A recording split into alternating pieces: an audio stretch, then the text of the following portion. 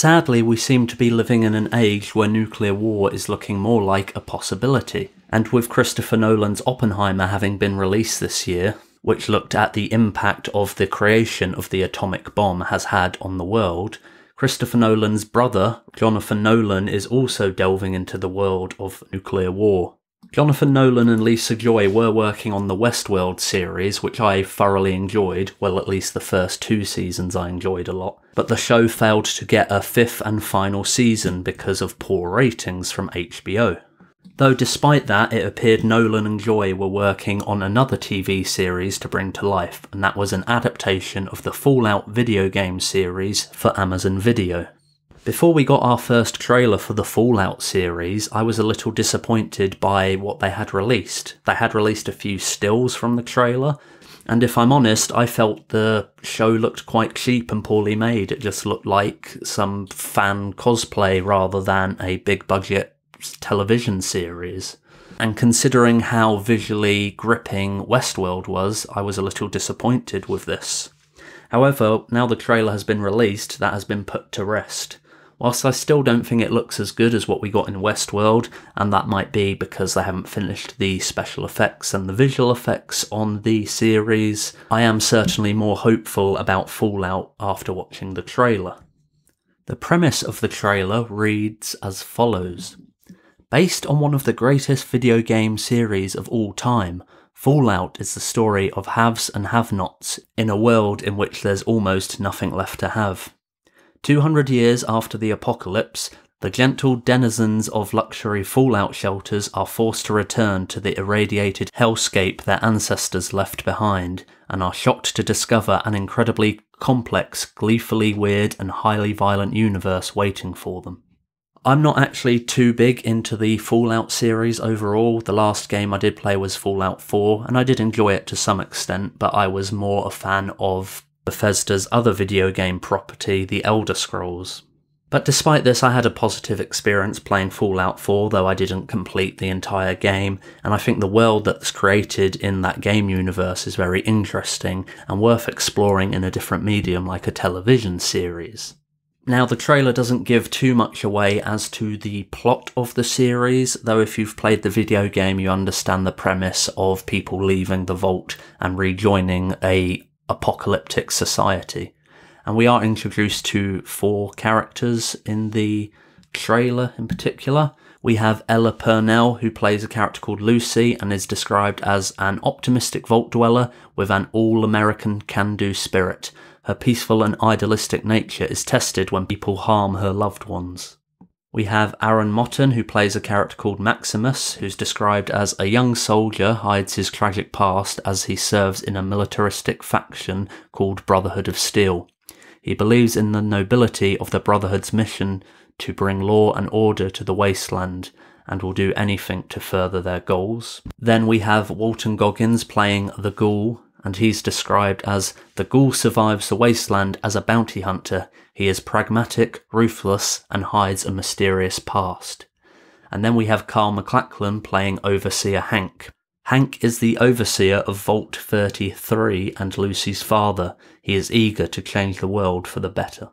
Now, the fact that we have these four characters makes me believe this is going to be told in the same sort of style as what we got in Westworld, where we followed several different characters and have their stories converge with one another. And I think that will work really well in terms of telling or even adapting a video game story onto a TV screen. If you had one sole protagonist who is expected to carry the whole show and the whole perspective of the world is seen through their eyes, it might come across as ungenuine and just seem a bit dull.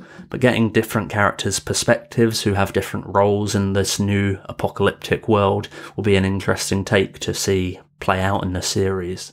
Whereas the trailer doesn't give us much indication to the plot other than what we got in the description, we do see that Ella Purnell's Lucy is going to be setting out from the vault and a bit of the lore behind Vault Tec, the company that built these vaults to secure the population in case of a nuclear war was that they were going to run a lot of experiments and tests on people in order to see how they'll cope in certain conditions in order to make a better world.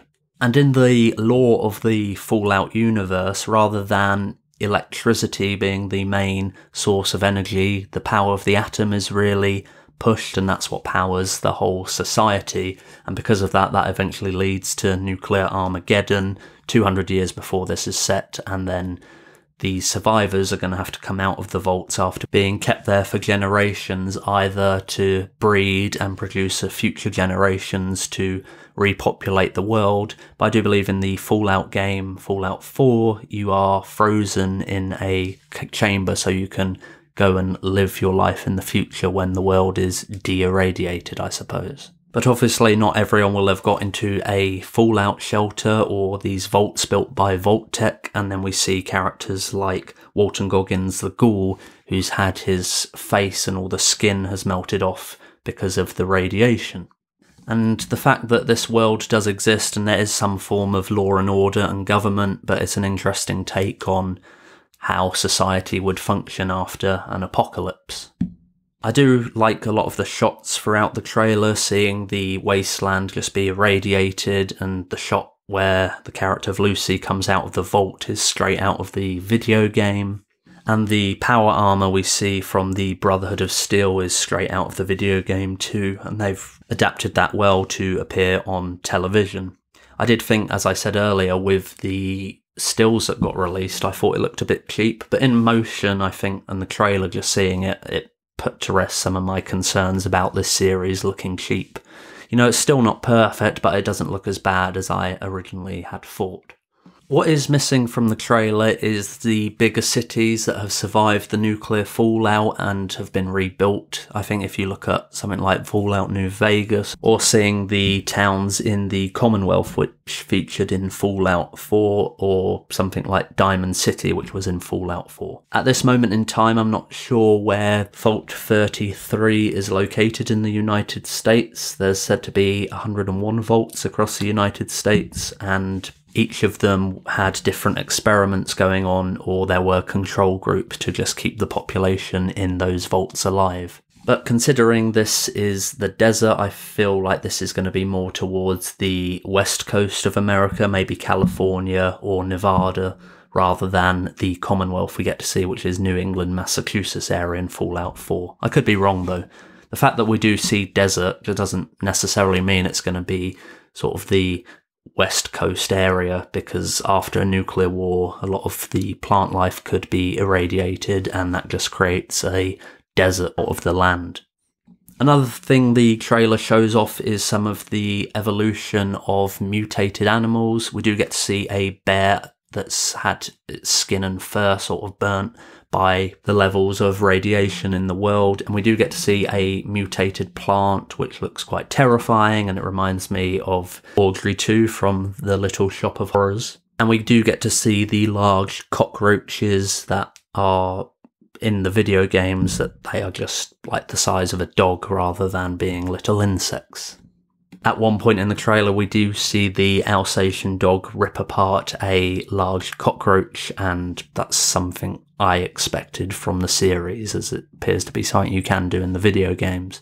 I remember in Fallout 4 you did have a dog companion, I can't remember his name though.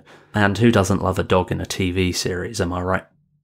I do also wonder if this is successful that Todd Howard and Bethesda may look at adapting more of their video game properties into television series or movies.